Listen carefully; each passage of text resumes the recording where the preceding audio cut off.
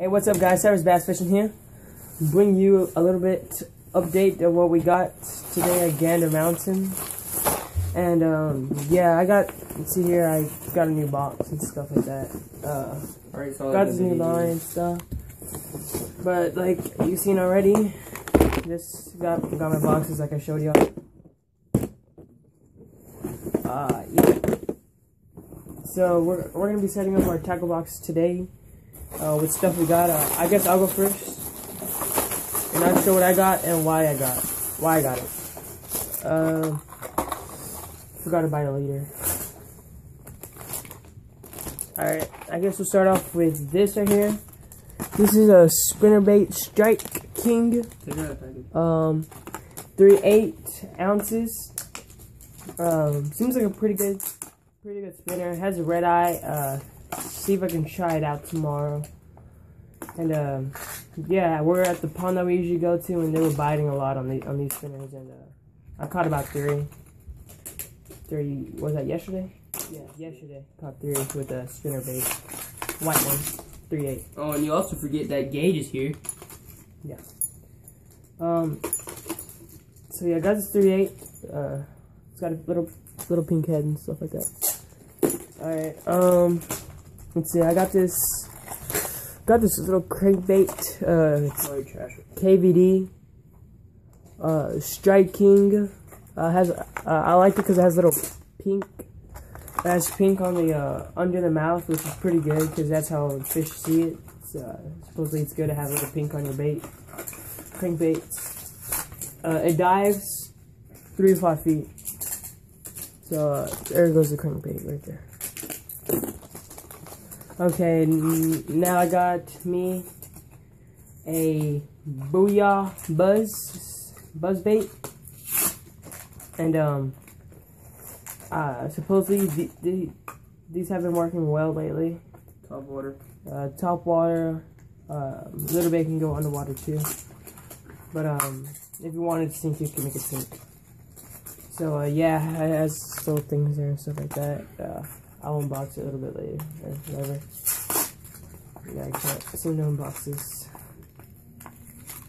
Um, so yeah, it's like a, another, it's like another uh, spinner pretty much, but uh, it's like these two, these two spinners and buzz baits.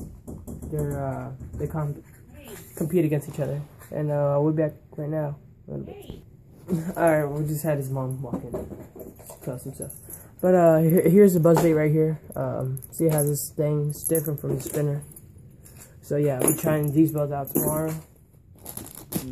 Um, I also got these clips, which I usually put on my line. Look at, look at, look what he did to my freaking spinner. And look what I did to his spinner bait yesterday. He messed it up. I messed it up because I caught a line.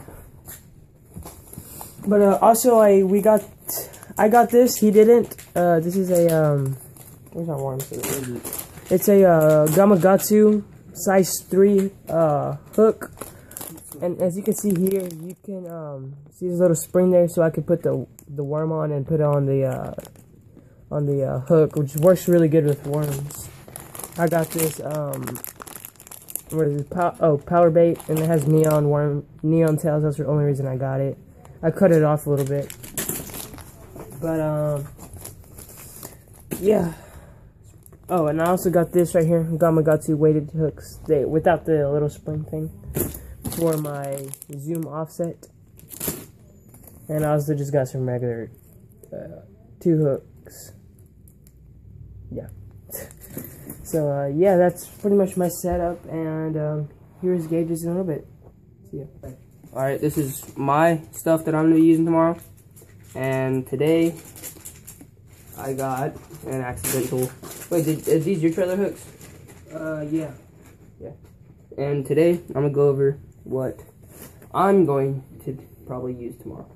So, Oh, you never explained trailer. You can explain it. you know, trailer hooks, alright. Well, trailer hooks, what, here, let me explain it real quick. Trailer hooks would go, Why me open, like, Jesus. This old spinner bait that Diego messed up pretty bad. And trailer hooks, you just go, just put on a hook like, like that. And that's pretty much it. And really can't come off. Now, and unless you put force on it. So that's pretty much what trailer hooks are. And tomorrow I'm gonna be using this top water frog. I'm open it. Doesn't think it's gonna work. I think it's gonna be a beauty. It's gonna be a beauty. That bad boy. Uh, okay, that's gonna go there. And bought me another spinner bait for me and me only. My spinner bait. I bought my own. Good. Did we get the same one? Yeah, I think so. No, you have a weird spoon on it. It got me this. Oh, dude, that blue's gonna show up in the water big time, dude. Is it good? Oh yeah. I get it out. There you go. And I got oh dang these things are long, I need trim that. And I got that. The skirt's a little long. Nice little spinner bait. And let's go right over to the buzz bait that I got. Me and Diego got the same one. Uh, these are going to work especially off the deep here, when you cast over the lily pads, these are going to work. Those fish are aggressive over there, especially crappie. I don't think crappie bite onto buzzbait, but there's a lot of crappie out there. But mainly going for bass.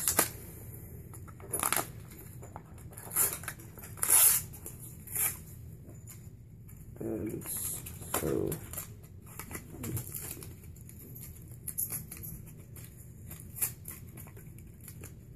It's gonna take forever to get this out. There you go. Alright. Oh, me and you pretty much have the same buzz bait. You got We- blue. We do have the same buzz bait. Not the same spinner though. Same buzz bait. Right there. And what I also got that he didn't get. Oh, I didn't go the swim baits. You got swim bait? Yeah, I Oh, got- you have two of them, right?